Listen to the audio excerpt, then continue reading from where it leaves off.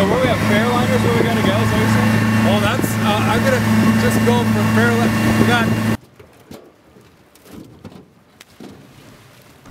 got... Okay, we're launching at the uh, mouth of the Puyallup River on 11th Street Bridge, and we're going to go out and sample Chinook salmon smolts.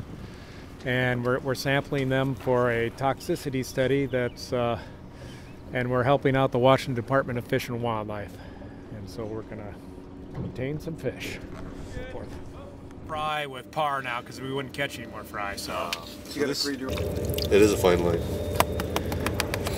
Is that a freaking go? One's on mark, but I Quit wonder if moving it's a- around, you dummy.